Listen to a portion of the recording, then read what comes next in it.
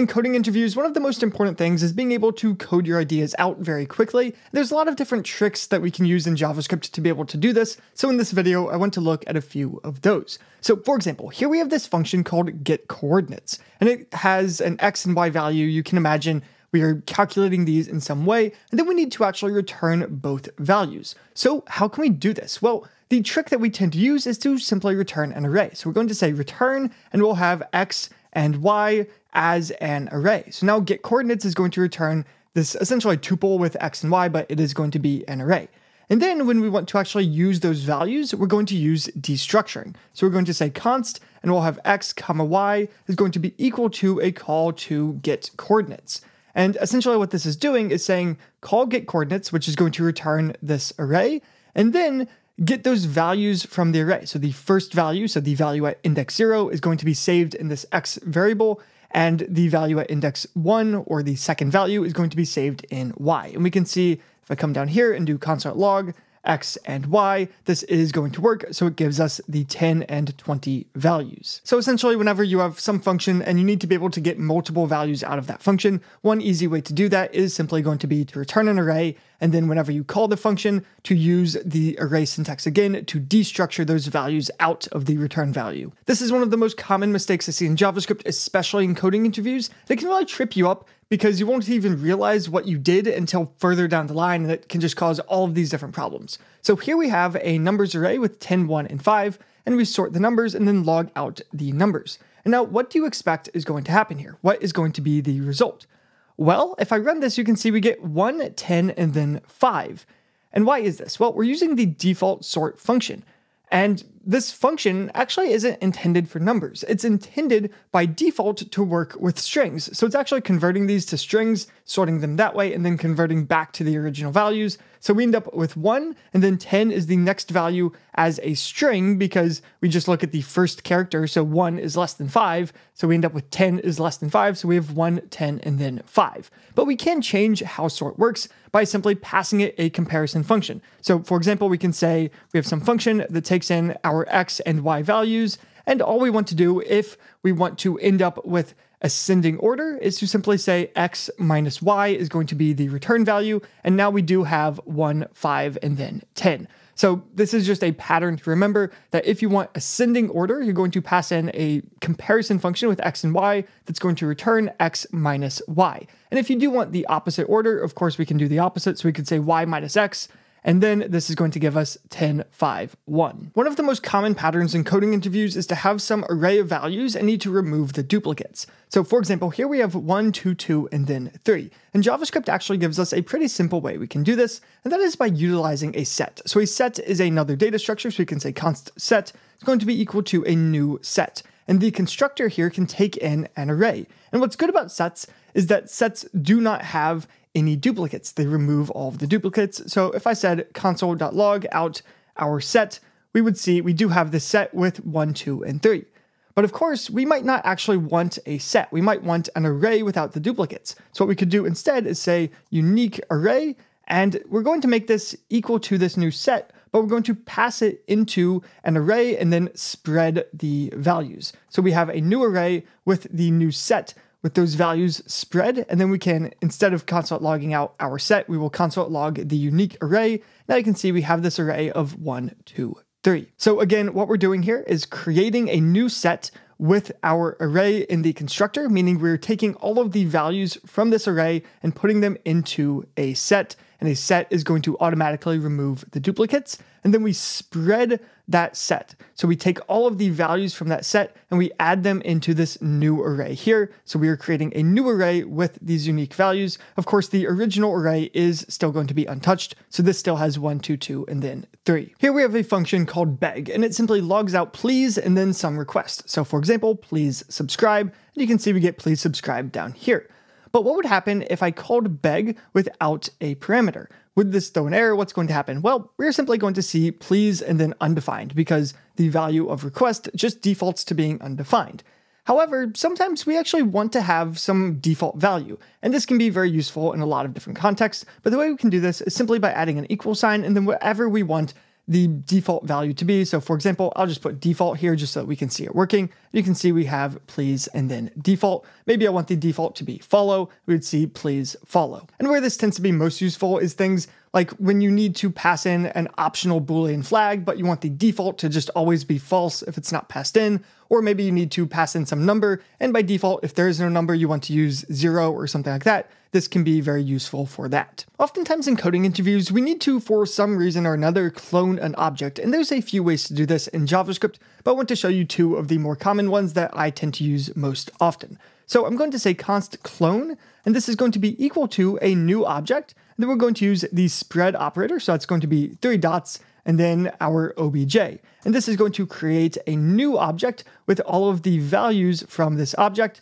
So now if I come down here and say console.log, our clone, you'll see it has the same values as the original array. So it looks the exact same.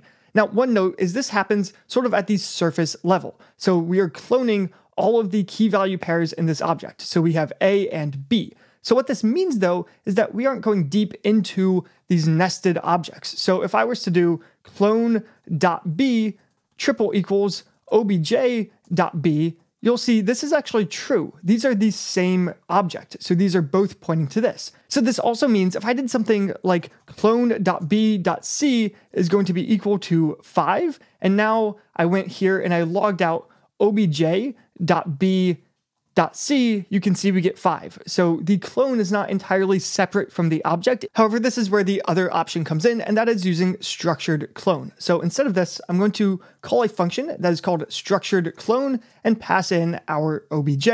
And now you'll see we actually have 2 is obj.b.c. But if I was to do clone.b.c, it is 5. And if we come here and just log out clone, you'll see it is an exact clone just with 5 for b.c. And of course, if I comment this out, we have the original clone once again. So the primary difference is if you use the spread operator, it's not going to clone the nested values. We're just going to have the same nested objects.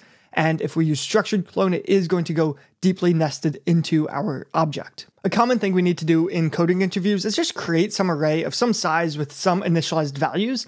And this can be a little bit tricky to figure out how to do in different languages, but there's an easy way to do it in JavaScript. So this is something to just remember for coding interviews. So let's say we have some array and we want this to be a new array. So we're going to use the new array syntax instead of just using the bracket. So we're not going to say the array is something like this because then we have to manually add all of the values. Instead, we're going to say new array and we can pass in a number here. So for example, the number 10, and this is going to be the size of the array. Then we're going to call the fill function and fill it with whatever values we want. So for example, zero. And now I could come down here and say console.log our array, and you'll see we have an array with 10 values filled as zero. And if we did not do this fill, so if I did just this, you'd see we have 10 empty slots. So we do typically want to use that fill to put in whatever value we want. And of course, we could use any different type here. So we could also do something like an empty string. You'd see we have this array now of 10 empty strings. In coding interviews, it's pretty common to need to take some array and check, does that array have some value that fulfills some condition? For example, some value that is even, or does it have all the values fulfilling some condition. So for example, are all of the values in an array even? There's actually a very easy way to do both of these things in JavaScript. So I'm going to come down here and say const has even. This is going to be equal to array.some, and this function takes in a, another function that is going to run on each value in the array until it finds something that fulfills the condition. So for example, we'll have our val, and we want to check is val mod 2 strictly equal to 0, because if this is the case, we have an even value. So if I come down here now and do console log our has even, you'll see this is going to be true because we do have an even value of 2. But if I made this say 21, it would now be false because there are no even values. And if we want to check out all of the values even instead of just some even value, what we can do is instead of array.some, we'll do array.every. And this is going to check every single value. So this is going to be false. You'll see if I put this back to 2 though, it is still false because 1 and 3 are not even. But if I made this say 10 and 30, now we have true because every value in this array is even. Oftentimes we want to get the minimum and maximum values out of some array, but how do we actually do that in JavaScript? Well, we can come down here and we can say const min is going to be equal to a call to math.min.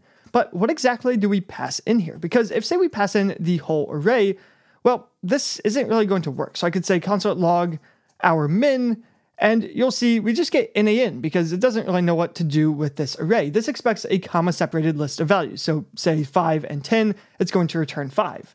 But how do we get that from our nums? Well, we can use the spread operator, so three dots, and then nums, so it's going to turn the array into a comma separated list, and now we get 1, which is the minimum value. If I did say math.max, and I'll change this to be max, and I run this, you'll see now we get 5, because 5 is the maximum value, and this is not just the last value, it is actually the maximum. So if I put, say, 0 after, we still get 5. I've shown this before, but it is so, so important, so I'm going to show it again, and that is how to swap two different values in JavaScript. This is something you do a lot with, say, linked lists when you need to swap pointers around, but in this case, we're just swapping A and B. So we know we could do something like A is going to be equal to B, and then B is going to be equal to A. And then if I said console.log A and B, you'll see we get 10 and 10 because we set A equals to B, so A is now 10 because B is 10. Then we set B equal to A, but a is 10. We just did that here. So now we're setting both of them equal to 10, which is not what we want. So the easy way to solve this is with some temporary value. So we could say